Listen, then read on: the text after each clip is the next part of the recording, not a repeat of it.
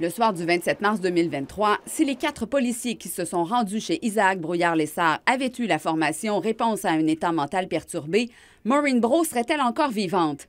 Personne ne peut répondre avec certitude.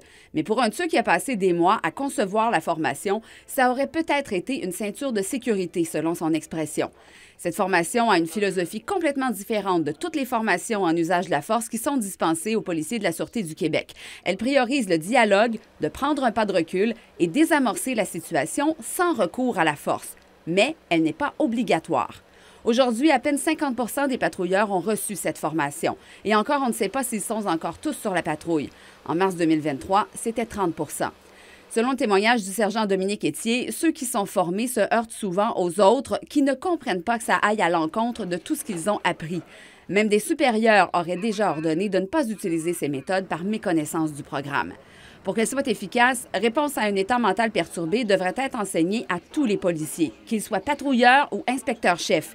Le sergent Etier ne comprend d'ailleurs pas pourquoi elle n'est pas obligatoire. Et c'est avec beaucoup d'émotion qu'il a affirmé ne plus s'occuper de cette formation. C'est un projet de vie, a-t-il dit. On a travaillé fort et accepter les discordances a été très difficile. Alors pourquoi cette formation n'est-elle pas obligatoire? Le président de la PPQ espère que le législateur va se prononcer en ce sens, mais admet que la Sûreté du Québec aura besoin d'aide. De forcer les organisations policières avec un nombre minimal de formation, ça va être selon moi un passage obligé.